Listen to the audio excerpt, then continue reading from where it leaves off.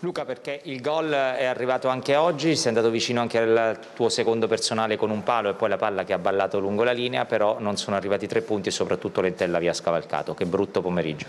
Sì, c'è da dire che siamo, siamo, veramente amareggiati perché abbiamo perso una grande occasione e mm, non abbiamo fatto secondo me, tra virgolette, non siamo, riusciti, non siamo stati bravi a chiuderla prima siamo stati bravi a trovare il gol subito al secondo tempo, però poi con tante disattenzioni e con poca cattiveria giustamente non abbiamo portato a casa il risultato. E questo nel secondo tempo sono perfettamente d'accordo con te, però la prima mezz'ora brutta brutta.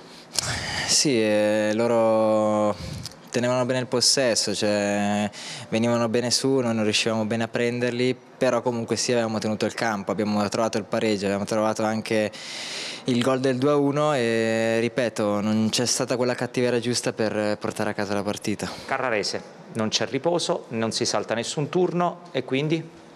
E quindi niente, c'è, una partita, uno scontro diretto, cioè, iniziamo subito e non c'è tanto da dire. Dopo il pareggio di oggi devo dire che la prossima settimana devo andare in campo e, e veramente non dar spazio neanche all'avversario di far niente. Ci racconti un po' quel palo e la palla che è danzata sulla linea?